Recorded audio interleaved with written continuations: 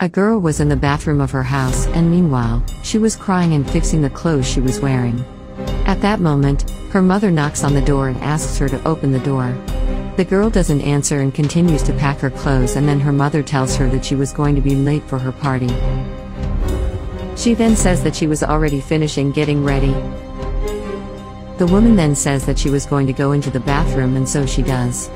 She still doesn't tell her daughter that she should hurry as they were already late and then help the girl with her dress.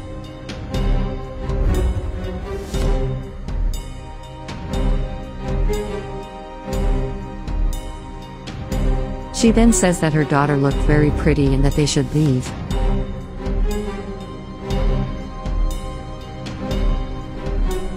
The woman then tells her daughter that she was gaining a lot of weight because that dress was too tight for her. The girl then says that there she just should have put on some weight. The woman then tells her daughter that she should take care of herself as she is still very young. They then go to the party and the girl's father was waiting for her there.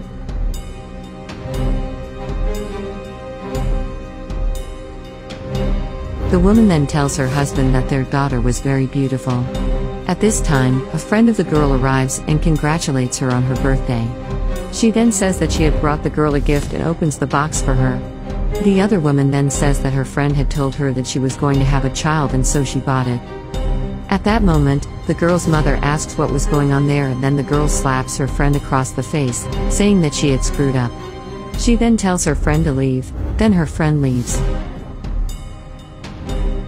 The woman then asks her daughter what was going on there, but the girl says that her friend was just playing and that it was her joke.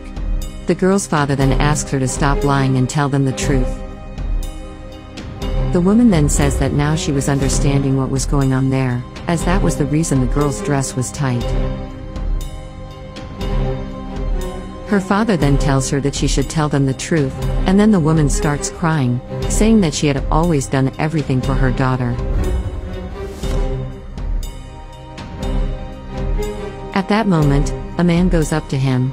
He is told that he was the father of the child. He says that if the girl's father had something to talk about, he could talk to him, as the girl was not to blame for anything. The girl's father then says that he couldn't believe that she got pregnant by his employee, as he was very poor and couldn't support her, and neither could her child. The man then says that he would start working there, that he would be a great lawyer. He says that this way he could support the girl and their children. The girl's father then says that it was impossible, because he was a poor person who would not be able to support anyone. He says that the man should think better of it, as he would not be able to support his son. The girl tells her father to stop that, as she loved the man, but at this point, her mother tells her that she should respect her father and then slaps her daughter across the face. The girl then starts to cry, and her mother says that she couldn't believe her daughter was doing that as she had a bright future ahead of her. She then says that her daughter was making her really mad, and then she goes after the girl. At this time, another woman goes up to them and tells the woman to stop it. She says that was the woman's daughter and that she shouldn't do that to her, but the woman says that she didn't want the other woman to tell her what she should do. She then says that it was the other woman's fault, because she should have told her what her brother was doing. The girl then says that she didn't need her mother to look for someone to blame, because it was all her fault and that she was going to have that child. The woman then becomes enraged with her daughter and tells them to get out of there. At this point, the man tells his wife that it was her fault. The man says that if she had taught her daughter right, she wouldn't be going through that situation right now. The woman then says that she was not the only one to blame for that situation, because the man was also to blame and that he should have raised his daughter better, but the man says that she should have taught their daughter what life was really like. The woman then says that he was also to blame for that, as he as a father should have taught the girl about life. The man then says that he was not to blame for that, as the woman had only one obligation, which was to take care of their daughter. He says that he had a lot of obligations and that he always had to be working to be able to earn money for his family, but that his wife should have played her role better and educated their daughter, but she didn't. The woman then tells her husband to stop trying to place the blame on her, as it is now too late for that. She then says that they should think of something so they can resolve the situation. The man then says he had an idea and says he was going to do what his wife had never done. She then tells him that he couldn't talk to her like that, because she always did her best to try to educate her daughter. She then tries to slap the man across the face, but he stops her and tells her that she couldn't do that to him and that she should respect him. Some time passes and the man was wondering why his daughter had done that. He then says that his daughter was very beautiful and that she couldn't have that child at that age. He said it was wrong, but at this point he says he had an idea of what to do. Later, when the girl was going down the stairs, the man goes after her and pushes her down the stairs. She then falls and starts calling for help. Some time passes and another man was in the hospital, very worried about what was happening. At that moment, the girl's parents arrive and her mother asks what he was doing there. She then says that it was his fault, that if something happened to his daughter, he would regret it. He then says that this was not the time for them to fight, because what they should be worried about at that moment was the girl's health.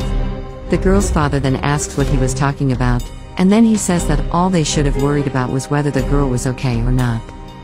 At that moment, a doctor goes to him. If he tells them to accompany the man, then he asks the doctor if the girl was okay. The girl's mother then starts crying and asks the doctor if her daughter is okay. The doctor then says that the girl's case was very complicated and that they would need to make a choice. They are then surprised by that, and the man asks what that choice would be.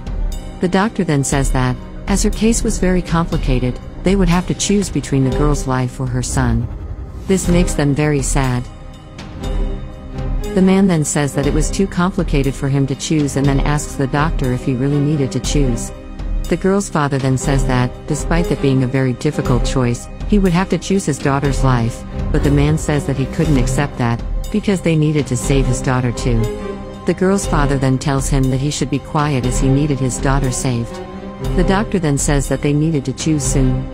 The girl's mother then says that they had already decided and that her daughter's life would be saved. The doctor then thanks them and then says that she would get in touch with them shortly, and so they leave.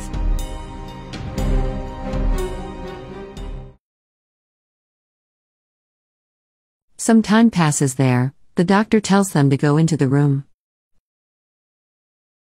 They then go up to the girl, and the girl greets her family members and her boyfriend. The man then goes to the girl and says he is very happy that she is safe and her daughter too. The girl's mother then goes to her daughter and tells her that she is sorry for the way she had treated her daughter. She says she was very rude to her daughter, but the girl says she understood, as she had been a disappointment to her mother. The girl's mother then says that she was wrong because she was always the pride of her life. She then goes to her granddaughter and says that her granddaughter was very beautiful at this time. The girl's father goes to her and says that he was sorry for the way he had treated his daughter. The girl then says that her father shouldn't worry about that, because she knew that her father loved her and that all she wanted now was for her family to be together. The man then says that his daughter was the greatest gift he had received and that now God had sent another gift that was his granddaughter. He then tells his daughter that he would take care of her and her daughter forever. The girl then thanks her father, and then her father goes to his granddaughter saying that she was very beautiful. They then hug, and the man says that now their family was together.